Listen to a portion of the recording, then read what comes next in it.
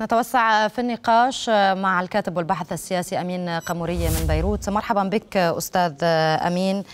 أي اتجاه برأيكم قد يختار حزب الله في هذه المرحلة في ظل تكرار هذا النوع من الاغتيالات وهذه العمليات الإسرائيلية التي توجه إلى قادة وزعماء ينتمون إلى حزب الله؟ يعني من الواضح بعد محادثات وزير الخارجية الإيراني في لبنان آه، في الأيام الماضية أن الاتجاه لدى طهران ولدى حزب الله عدم الانجرار إلى تصعيد واسع عدم الانجرار إلى حرب مفتوحة طبعا للتوقيت الإسرائيلي.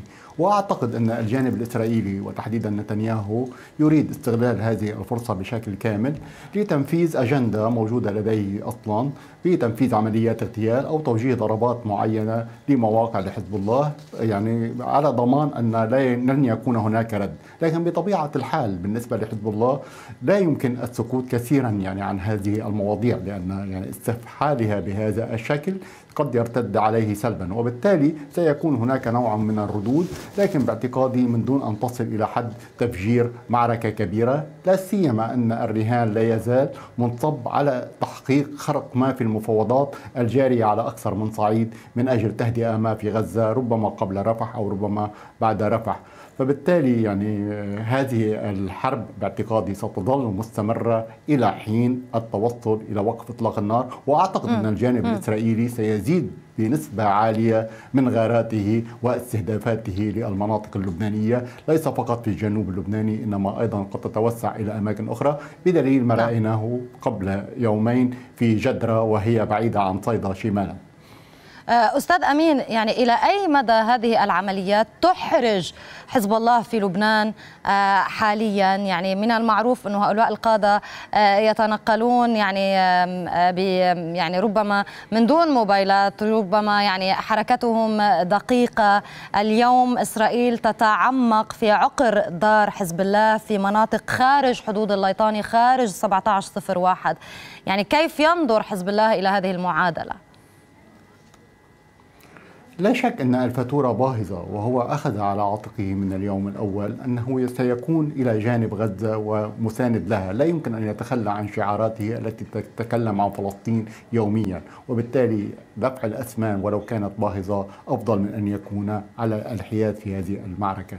لكن بالنسبة لعملية الخروقات بالنسبة لعملية الاستهداف بهذا الشكل الدقيق لا شك أن الإسرائيليين يتعاطون مع حزب الله بعد حرب تموز بطريقة مغايرة، إسرائيل تملك من القدرات الكبيرة التقنية، أفضل تكنولوجيات العالم للتنصت والمراقبة موجودة لديها، الخرق على الساحة اللبنانية كبير حتما يعني بعد الحرب السورية بعد ما يجري في لبنان من أوضاع اقتصادية والتركيز الإسرائيلي على حزب الله كقوة أساسية يعني تشكل خطر عليه. فبطبيعة الحال أن يكون هناك تركيز على جمع المعلومات وتح وتوسيع بنك المعلومات بهذه الطريقة.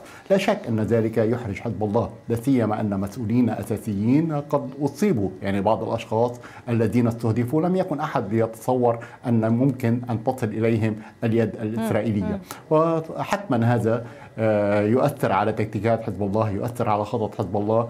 لكن من يريد من يريد من يريد خوض معركة بهذا الحجم عليه أن يكون نعم. متاهبا لكل التداعيات لكل ردود الفعل.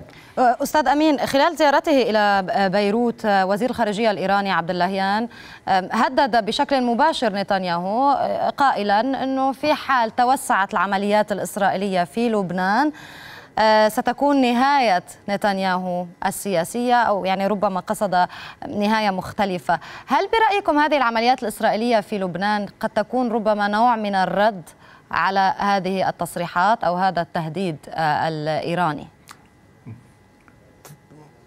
تصريحات عبد اللهيان في بيروت كانت مرفقة بحديث عن التهدئة يعني. وطبعا تحذير من أنه إذا كنتم تريدون الذهاب إلى حرب مفتوحة نحن أيضا مستعدون لهذه الحرب المفتوحة. لن نسمح بالمس بحزب الله بشكل بسيط وبشكل يعني تلقائي. فبالتالي آه، سيكون ردنا كبير. وعلى اعتقاد ما أن أي رد ويسبب خسائر كبيرة في المنطقة الشمالية من إسرائيل وحتى وصولا إلى تل أبيب أو ما بعد تل أبيب لا شك أنه سيكون له ارتدادات كبيرة على الجانب الإسرائيلي. لكن نحن ما فهمنا من هذا الكلام هو نية التهدئة وعدم الرغبة في الانجرار إلى حرب كبيرة.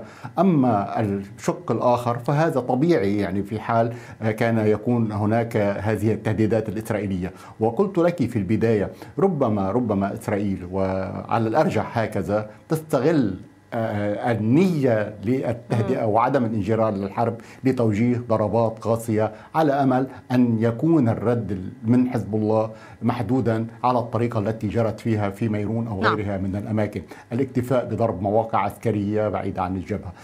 هذه اللعبة باعتقادي هذا السيناريو سيظل مستمرا من الآن وحتى تتغير الأمور معركة نعم. رفح. باعتقادي أساسية آه، في ضوئها آه، ستتحدد كيف المسارات في الفترة المقبلة ليس فقط في غزة وفلسطين إنما في المنطقة برمتها لأن الكثير واضح. من المشاريع بدأت تظهر لما هو بعد غزة شكرا جزيلا لك من بيروت الكاتب والباحث السياسي أمين قمريه